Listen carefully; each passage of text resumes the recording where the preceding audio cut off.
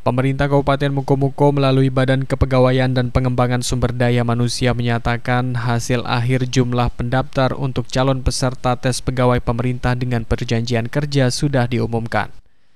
Sebanyak 1.575 orang dinyatakan memenuhi syarat dan 405 orang dinyatakan tidak memenuhi syarat.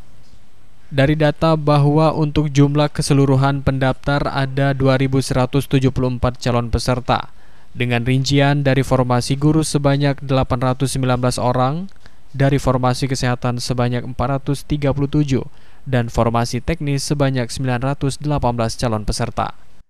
Disampaikan Niko Hafri selaku Kepala Bidang Pengadaan, Pengembangan SDM dan Pembinaan ASN Badan Kepegawaian dan Pengembangan Sumber Daya Manusia Kabupaten Mukomuko bahwa hari ini, Minggu 22 Oktober merupakan hari terakhir masa sangga sehingga para calon peserta yang TMS masih bisa memanfaatkan waktu tersebut.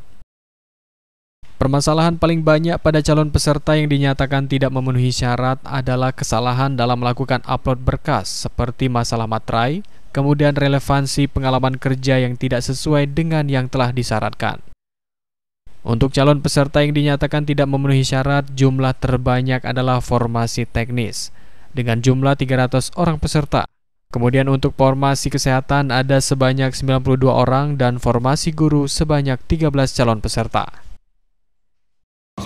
Jadi terkait dengan masa sangga sesuai dengan jadwal yang ada, eh, peserta pelamar yang eh, yang berdasarkan data TMS itu sekitar kurang lebih hampir di angka 300-an dan sampai dengan kemarin itu sudah menyanggah kurang lebih sekitar 80 uh, eh, peserta yang melakukan pesanggahan dan rata-rata sanggahan yang disampaikan itu adalah terkait dengan kesalahan-kesalahan dalam uh, uh, uh, materai.